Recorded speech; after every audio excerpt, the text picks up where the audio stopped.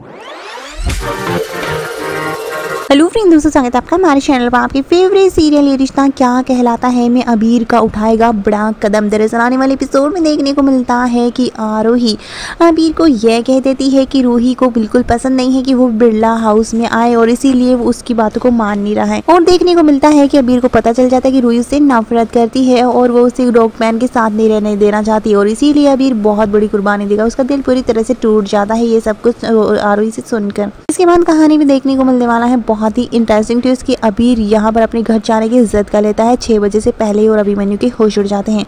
वहीं अभिमन्यु से महँगे से महँगे तोहफे दिलाकर उसका दिल जीतने की कोशिश करता है, लेकिन देखने को मिलने वाला है कि अभी यहाँ पर अक्षरा अबीर को समझा देती है कि जब आपको पता चल चुका है कि रूई को पसंद नहीं है तो आपको उनके घर भी नहीं जाना चाहिए और आपको उस घर वाले से अब दूरी बनकर कर रखनी चाहिए। अगर हमारे पास करीब भी अगर रूही आएगी तो आपको अच्छा नहीं लगेगा ना?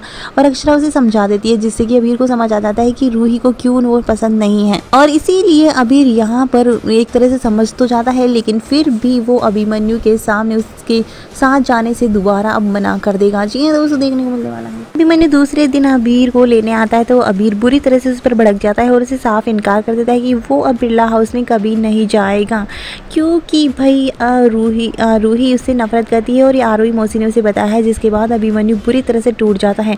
देखने को मिलने वाला है काफ़ी इंटरेस्टिंग चीज़, जहाँ पर अबीर यहाँ पर फोड़ता, भांडा फोड़ता नज़र आएगा अब आरोही का। आरोही रूही दोनों का देखना दिलचस्प होगा, इसके बाद में अभिमन्यु क्या फैसला करता है?